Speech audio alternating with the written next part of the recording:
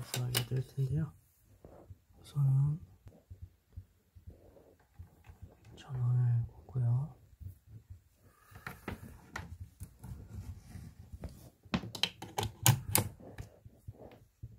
전원을 꽂으면 이걸로 조절기로 밝기를 이렇게 조정할 수 있습니다.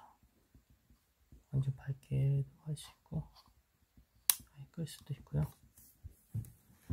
이런 식으로 하면은 당연히 향이 더 많이 날 때도 있고 적게 날 때도 있고 이런 식으로 조절이 가능하죠. 당연히 이걸 빼서 쓰셔야죠.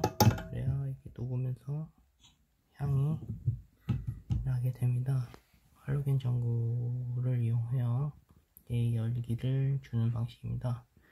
저희 한비TV도 구독 시청 많이 해주세요. 감사합니다.